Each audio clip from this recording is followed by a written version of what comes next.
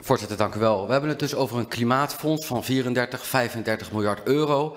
En als ik de minister zo goed beluisterd, zegt hij eigenlijk van nou, als u als Kamer nou voor of tegen dat fonds stemt, die klimaatmaatregelen worden toch wel genomen. Dus betekent dat dan dat die 122 klimaatmaatregelen die we hier hebben besproken twee weken geleden, ter waarde van 28 miljard, hoe dan ook doorgedrukt zullen worden? Nee, voorzitter. Ik heb net ook aangegeven, het budgetrecht uh, ligt natuurlijk altijd bij de Kamer. Dus het kabinet zal dan op andere manieren die voorstellen verder uitwerken en uiteindelijk ook aan de Kamer voorleggen. Dan is het ook aan de Kamer om daar definitief ja of nee tegen te zetten. Maar mijn openingspleidooi is juist, willen we een goed integraal overzicht in alle klimaatuitgaven, goede beoordeling ook aan de voorkant van de doelmatigheid van die uitgaven, dan is zo'n integraal fonds wel heel nuttig, omdat u dan ja, ook op uh, gezette momenten dat totaaloverzicht krijgt en dan ook op dat totaaloverzicht kan bijsturen. De heer Kops. Dan een andere vraag, voorzitter. Want inderdaad, ik zei het al, twee weken geleden hadden we het over een uh, klimaatpakket van de minister.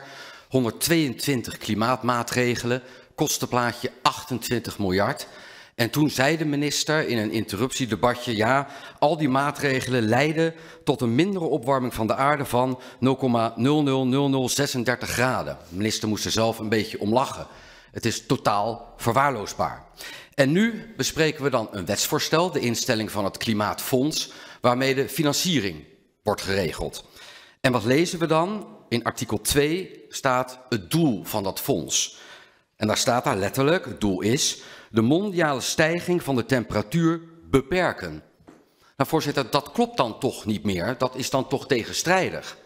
De vraag is, hoe kan de minister met een wetsvoorstel komen, een fonds, dat als doel heeft de opwarming van de aarde tegen te gaan, terwijl de minister zelf met een heel simpele rekensom, die 0,000036 graden, dat doel onderuit heeft gehaald. Dan kan het hele wetsvoorstel toch nu de prullenbak in? Dank u wel, de minister. Nee, voorzitter, het wetsvoorstel dat we vanavond behandelen zorgt er dus voor dat ik als coördinerend minister voor Klimaat aan de voorkant goed toets op de ingediende voorstellen voor de besteding van het Klimaatfonds. Dat ik ook een integraal overzicht aan de Kamer aanbied, zodat de Kamer in staat is om daarop uh, bij te sturen. En dat we ook in de komende jaren goed kunnen controleren of dat het geld aan de juiste dingen wordt uitgegeven. Of dat het bijdraagt aan het tegengaan van klimaatverandering, aan het versterken van het verdienvermogen van de Nederlandse economie. En dat we op een rechtvaardige manier ervoor zorgen dat iedereen ook kan meekomen in dat uh, klimaatbeleid. En daarom is deze instellingswet verstandig. Tot slot, de heer Kops. Uh, ja, oké, okay, voorzitter. De minister heeft het dus over toetsen of de maatregelen goed zijn en, en, en effect hebben.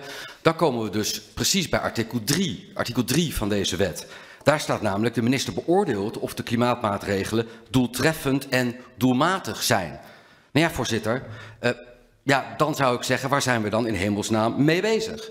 Als de minister zelf zegt dat klimaatmaatregelen voor 28 miljard euro leiden tot een mindere opwarming van de aarde van slechts 0,000036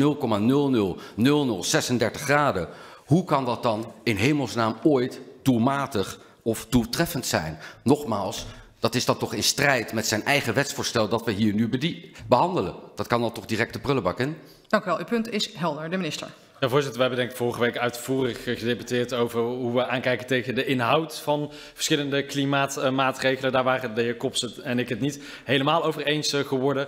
Maar ik denk dat uh, uh, lid Bontebal vanavond heel goed heeft uitgelegd welke verantwoordelijkheid Nederland ook draagt. We zijn een rijk en welvarend land met historisch gezien veel CO2-uitstoot. We stoten per hoofd van de bevolking meer CO2 uit dan gemiddeld. Zitten daar in de wereldtop. Hebben ook een grote, sterke economie die uh, nou, veel meer CO2 uitstoot dan de omvang van ons land. Uh, nou ja, redelijkerwijs ja, zou moeten doen ten opzichte van andere landen. Dus we pakken hierin onze verantwoordelijkheid, onze bijdrage aan het behalen van de klimaatdoelstellingen van Parijs. En u ziet ook in de verschillende percelen die dit, in dit klimaatfonds worden geïntroduceerd, dat we het ook doen op een manier dat we juist het Nederlandse bedrijfsleven ook in staat stellen om met nieuwe technieken, met innovaties, uh, niet alleen klimaatoplossingen voor Nederland op te schalen, maar die ook exporteerbaar te maken naar andere landen in de wereld, zodat we ook op andere plekken dan Nederland kunnen helpen in die strijd tegen klimaatverandering.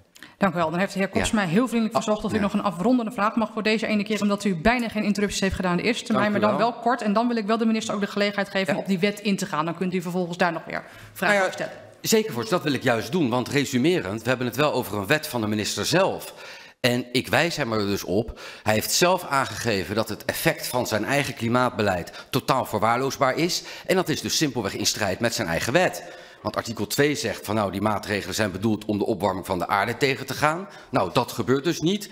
En artikel 3 van die wet zegt het moet allemaal doeltreffend zijn en doelmatig zijn. Dat is het dus ook niet. Dus als de minister kan blijven volhouden dat voor zoveel miljarden het wel doeltreffend en doelmatig is om dit allemaal te doen, dat is toch complete waanzin voorzitter. Dank u wel. Volgens mij wordt het een herhaling van zetten. Dus ik zou ik ga, uh, maar ik kom ook eh, uitgebreid nog verder op de nut en noodzaak terug, voorzitter. Dus uh, de heer Kops wordt het komende uur nog uitgebreid bediend.